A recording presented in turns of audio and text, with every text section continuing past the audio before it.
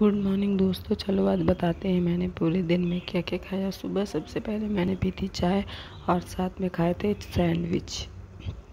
मैंने और मेरे हस्बैंड ने साथ में मिलकर ब्रेकफास्ट किया था।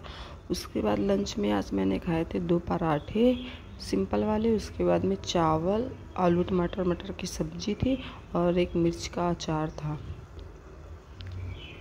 मिर्च का अचार मुझे बहुत पसंद है, ऐसे पतली वाली मिर्च तीखे तीखे उसके बाद में मैंने खाई थी खीर, चावल साबुदाने मिक्स की खीर थी।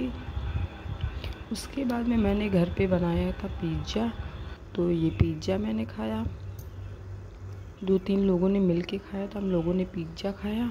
उसके बाद में आज बड़ा मंगलवार है तो आज भंडारा था हमारे घर के बगल में तो भंडारे का प्रसाद मैंने खाया, सब्ज़ी पूड़ी।